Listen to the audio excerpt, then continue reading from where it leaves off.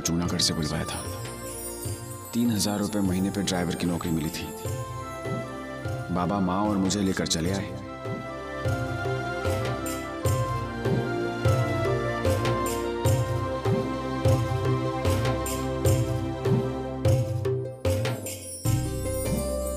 यहाँ आकर तो बाबा और माँ की नज़रें चौड़ी हो गई थी।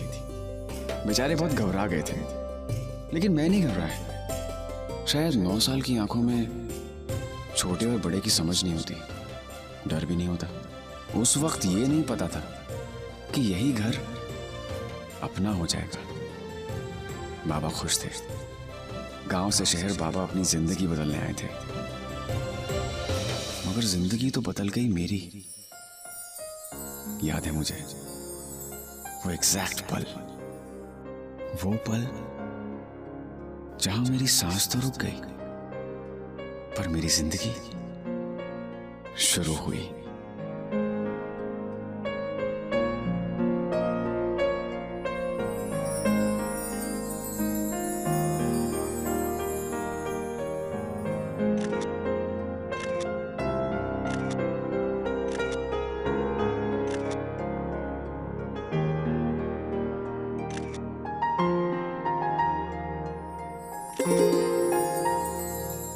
पहली बार अपने गंदे होने का एहसास हुआ। पहली बार मैंने खुद को किसी से कम पाया। इतना कम कि मैं कुछ भी नहीं, और वो सब कुछ उस पल से पहले की ज़िंदगी को भूल चुका था मैं। और अगर कुछ याद था तो सिर्फ़ वो।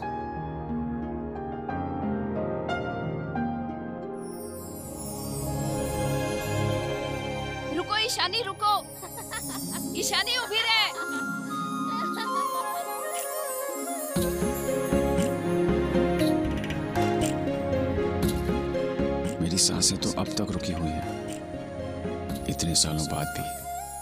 अरे रणवीर बेटा अभी गए हो? क्या रह गया तू कब से तेरी राह देख रहे चल आजा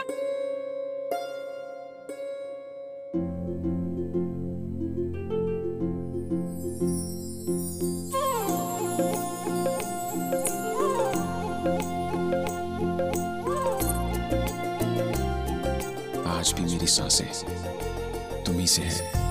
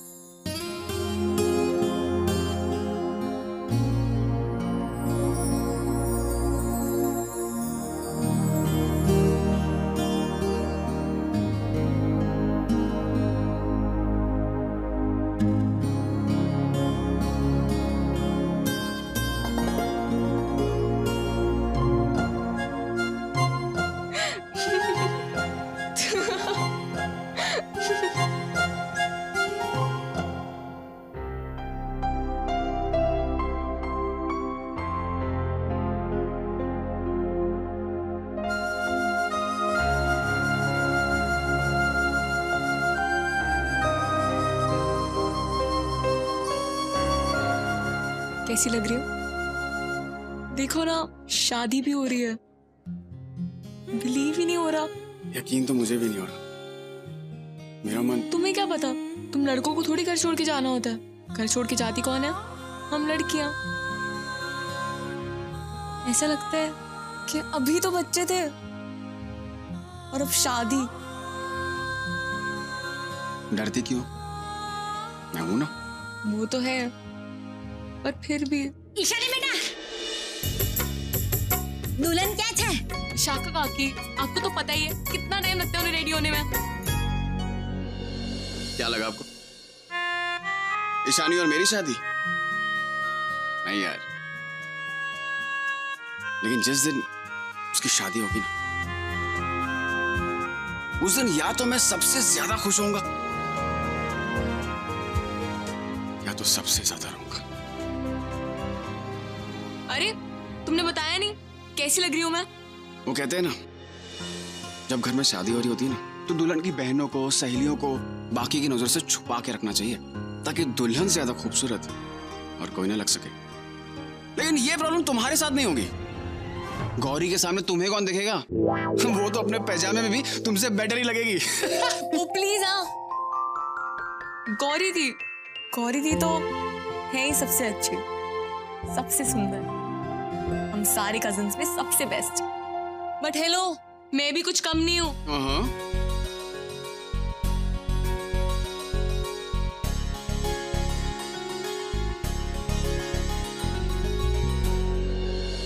गौरी आप कितने अच्छे लग रहे हो। अब जल्दी चलो काके आपका कब से वेट करिए पूजा के लिए? और आपको पता है आज बाने गणेश स्थापना में काठियावाड़ी औरतों को भी बुलाया है। चलो अब जल्दी निकलो।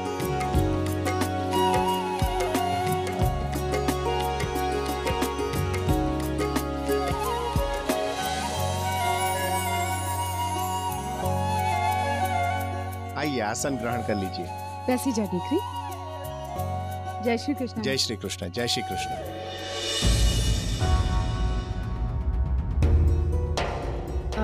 पूजा की विधि शुरू करें।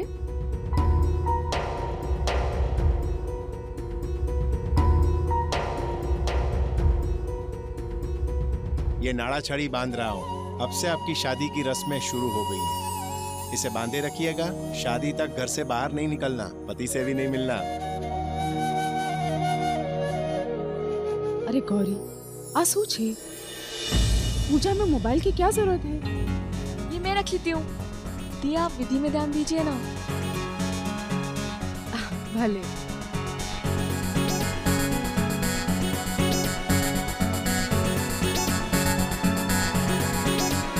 ये नाड़ा छड़ी सब परिवार वालों के हाथों में बाँध दीजिएगा। सबको मानिए ना?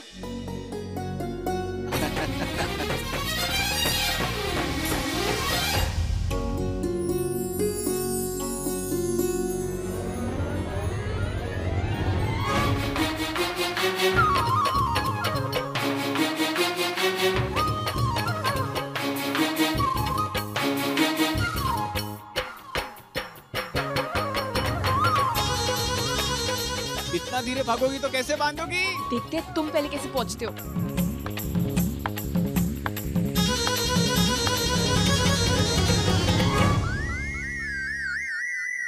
ईशानी चीटिंग अब देखते हैं पापा को ये धागा कौन मानते हैं। पापा पापा। माँ पापा हैं? अरे अब भी रणबीर ने फ़ोन करके उन्हें बाहर बुलाया।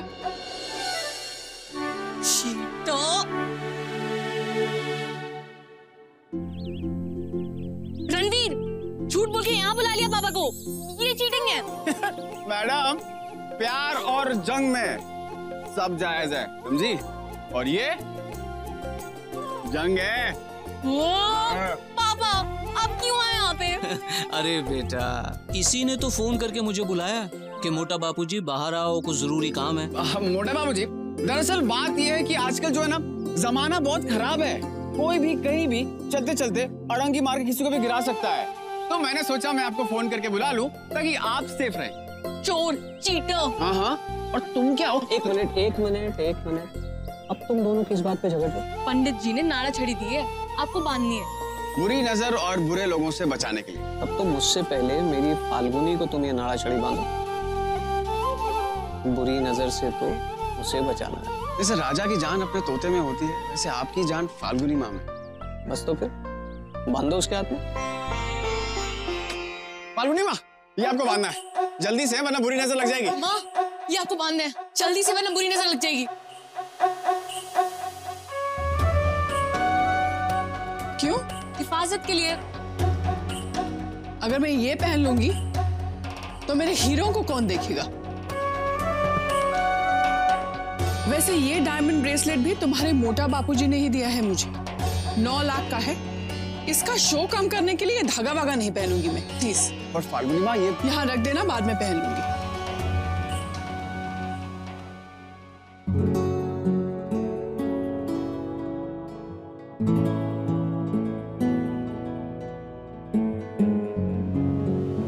अच्छा लग रहा है ना? आप अपने हाथों में कुछ भी पहन लें फाल्गुनी। खूबसूरत ही लगेगा। हीरा भी और धागा भी। आज कोई धागा वागा नहीं। आज सिर्फ़ हीरा। वो मैं शादी के बाद पहनूँगी। आई प्रॉमिस प्रॉमिस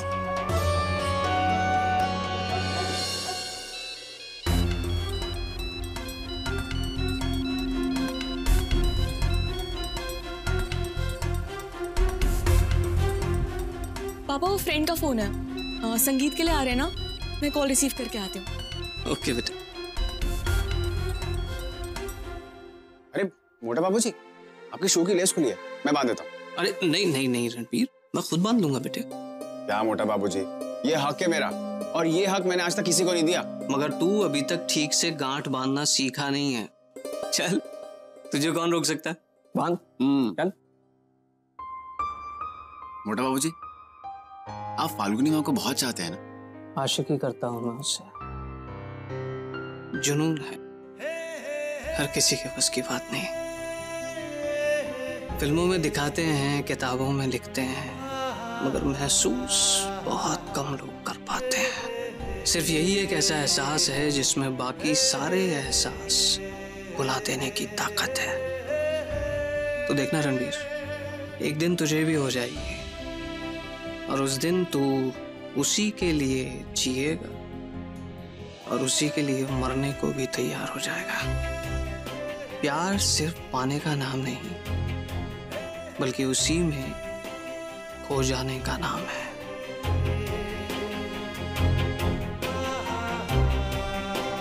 लेस बन के मोटा बाबू जी इसी तरह से रिश्ते भी बन जाएँगे। अब तो बस ईशानी के लिए एक अच्छा सा लड़का ढूंढना। बड़ी हो गई भाई अब वो। शादी तो करनी होगी ना उसकी। और इस काम में अगर तू मेरी मदद नहीं करेगा तो कौन करेगा? दुनिया के लिए तो भले ही मेरे ड्राइवर का बेटा है इस घर का नौकर है लेकिन मेरे लिए मेरे लिए बेटे जैसा है। बचपन से तेरी और ईशानी की दोस्ती देखी है मैंने। एक तू ही है जो उसके लिए अच्छा लड़का ढूंढ सकता है। आप जैसा बोलेंगे वैसा ही होगा मोटा बाबू जी मुझसे नहीं होगा प्रणव। कल शादी है और आज हम गौरी दी को घेर के बैठे हैं। तुम्हें कैसे? ईशानी अगर तुम साथ नहीं दोगी तो और कौन देगा? प्लीज़ हेल्प अस प्लीज़ मैं कैसे हेल्प करूँ प्रणव गलती से बा को पता लग गया तो? मैं आज तुम्हारे घर आऊँगा। उसे भगा ले जाने के लिए। तुम्हें सिर्फ़ तुम्हें सिर्फ़ इतना करना होगा ईशानी कि हमारा साथ देना होगा। प्लीज़ प्लीज़ साथ दे देना।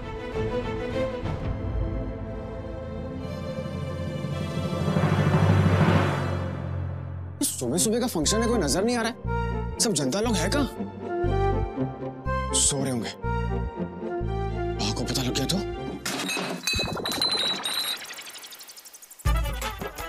साले सब घोड़े बेच के सो रहे? देवर्ष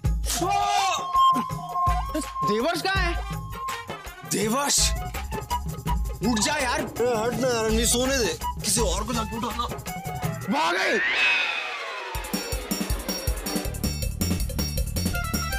अरे बोतलें तो छुपाओ।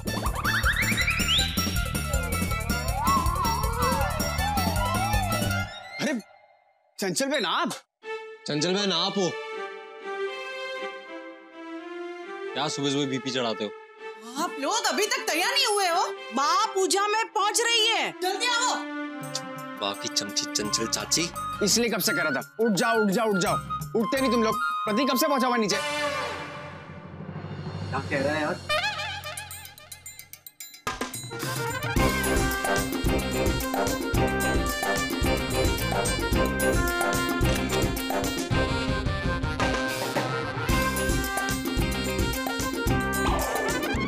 अपनी बहन की फ़ोटो खींचे छे ना जी दादी दिखा फ़ोटो खींच। फ़ोटो मुझे भी दिखा हाँ।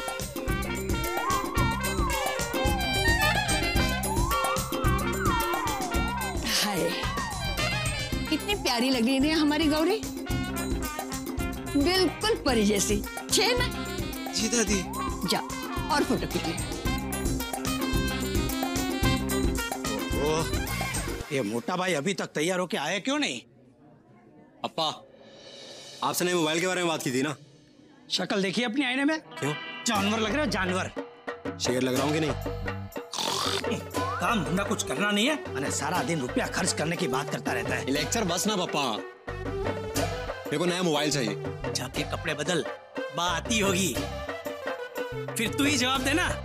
मोबाइल चाहिए। काम चुप। अरे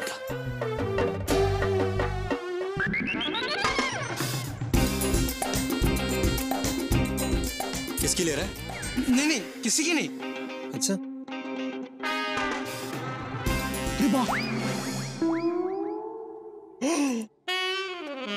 नाटी। कौन है? मुझे नहीं पता। गौरी दीदी कॉलेज की फ्रेंड है। कल रात को पार्टी में मिली थी। नाम है रुचिका। ए रुचिका! कम ना। भाई वो तो ये आ रही है। हाय। ये क्या ओलिया बना रखा है? मेरी छोड़ो। मीट प्रतीक। हाय। मैं पूछ रहा था कि आज शाम को क्लबिंग चले। सामने नया क्लब खुला है और हम संगीत के बाद फ्री भी हैं। व्हाई नॉट मैं तुम्हें बाद में कॉल करता हूँ। ओके एक मिनट एक काम करो तुम मेरा नंबर तुम मुझे बाद में कॉल करना। ओके नाइन सेवन अरे तूने नीतीश मामा का नंबर क्यों दिया? मोबाइल नहीं दिला रहे ना? अब देखना। ऐसे ऐसे कॉल्स करवाऊँगा कि शाम तक पप्पा के अंदर का पॉमेरे निकल कर बाहर आ जाएगा शादी का घर है ना? सब कुछ एकदम अच्छे से सजा देना हाँ? मैं एक ही बार चेक करूँगी फिर बताऊँगी भी नहीं ठीक है?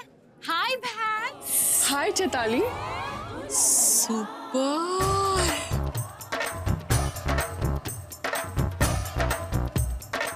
super ना? वेरी फुल ब्यूटी कब दिया? मोटा भाई ने? वो फॉरेन टूर से वापस आए थे ना? तब। कितना मनी दिया? नौ लाख।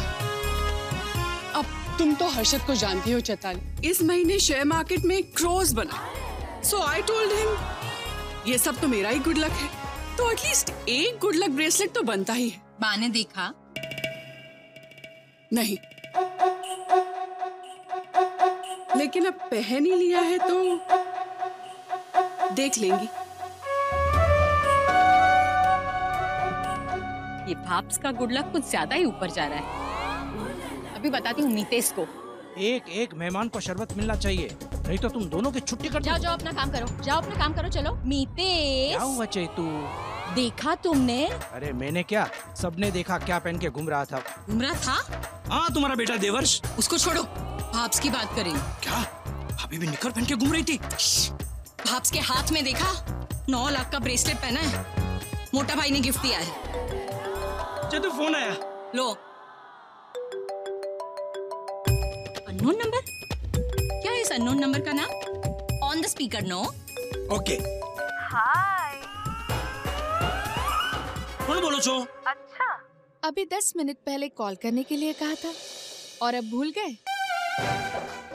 मैंने नहीं कहा आपके कोई मिस्टेकिंग हुई होगी। अच्छा। अभी रात का प्लान बना रहे थे कल पार्टी में मिले थे। कम ऑन मिस्टर पारिक अगर बिज़ी हो तो मैं बाद में कॉल करूँ? कोई है क्या वहाँ पर? फिर इतना फॉर्मल क्यों हो रहे हो? अगर तुम बिज़ी हो तो शाम में मिलती हूँ। अब समझ में आया। तुम्हारा मन तो काम में लगेगा ही नहीं ना? किस किस को देके आए हो? अपना मोबाइल नंबर शादी चुपचाप होने दूँगी उसके बाद में देखती हूँ तुम्हें और उस लड़की को। मारिस! अब जो भी करना है आपको करना है। वहाँ से ऐसे डरती रहोगी तो कैसे चलेगा? सवाल एक दो दिन का नहीं है दी पूरी लाइफ का। फिर से बाप को पता चलेगा तो? प्यार करती हो ना उससे? हाँ तो बस वही करो। हिम्मत करो और चले जाओ उसके साथ। बाप को प्यार से नफरत है ईशानी हमारे घर सिर्फ़ शादियाँ होती हैं प्यार नहीं।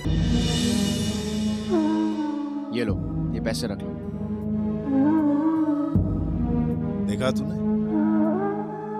बारह साल से ये नौकरी कर रहा था और आज बारह सौ रुपए की मिठाई की खातिर इसे नौकरी से निकाल दिया बा और ये क्या पहन रखा है तूने कहाँ से आई है शेरवानी? अरे ये शेरवानी तो मोटा बाबूजी ने दिलवाई है। तुझे क्या लगता है? तू ये कपड़े पहनकर बड़ा आदमी बन गया? बेटा तू ये अच्छे कपड़े पहनकर इस घर का हिस्सा नहीं बन जाएगा। देख आज भी हम इस घर की पूजा में जा तो सकते हैं पर इतने सालों बाद भी बेटा हम पीछे ही खड़े रहते हैं। और वही हमारी जगह है। बेटा आज भी उन्हें हमारे बच्चों के नाम तक याद नहीं आधे से ज़्यादा लोग इस घर के मुझे आज भी ड्राइवर जी कह के बुलाते हैं। ए! जी। ये सामान अंदर रखवा देना। जी।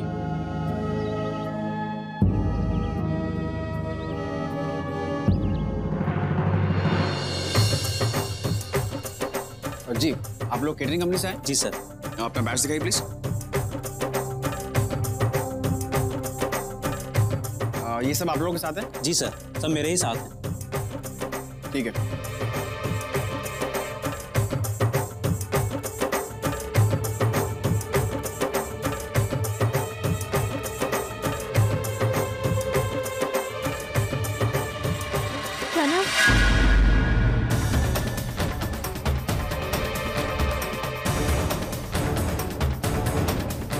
ईशानी अब क्या होगा? वो तो यहाँ आ गया है। प्यार का इम्तिहान होगा दी। आज रात तुम अपने प्यार को चुनोगे और यहाँ से भाग जाओगे। प्यार में दो लोगों का होना ज़रूरी है। लेकिन प्यार दोनों तरफ़ से हो, ये ज़रूरी नहीं। मेरी कहानी भी तो ऐसी है। पंद्रह साल से मैं उसे प्यार करता हूँ। एक तरफा प्यार। और उसे इस बात की खबर तक नहीं है लेकिन मुझे इस बात की कोई परवाह नहीं कोई शिकायत नहीं। ना ही अपने प्यार के बदले में कोई उम्मीद लगाई है मैंने। बस प्यार किया है और करता रहूँगा। अरे रणवीर ये मिस्टर शाह की गाड़ी की चाबी है। जाके उनकी गाड़ी पार्क कर। बाबा कहते हैं आदमी को अपने दायरे में रहना चाहिए। लेकिन उन्हें कैसे समझाऊं? दिल का कोई दायरा नहीं हो। इस घर का नौकर हूँ। सारे काम करता हूँ। सबका ख्याल रखता हूँ। ये लो। मुझे नहीं चाहिए। अंदर से जा पकड़ लिया। मुझे थोड़ा काम है। लेकिन जो हर वक्त मेरे ख्यालों में है वो बस ईशानी है। और इस ख्याल को अपने से कभी अलग नहीं कर सकता मैं। मैं जानता हूँ। वो कभी मेरी नहीं हो सकती। एक दिन वो किसी और की हो जाएगी। लेकिन इससे मेरा प्यार कम नहीं होगा। मेरा प्यार एक तरफा ही सही काफ़ी है एक उम्र के लिए। क्या ज़रूरी है कि दो लोग जब प्यार करें तो शादी ही करें? दोनों हमेशा साथ ही रहें? दोनों के नाम जोड़ दिए जाएँ? प्यार तो अपने आप में मुकम्मल होता है। उसे किसी नाम की क्या ज़रूरत? है मोटा बाबूजी कहते हैं ना, आशिकी पाने का नहीं, खो जाने का नाम। इसीलिए इसीलिए ईशानी मेरी आशिकी, तुमसे।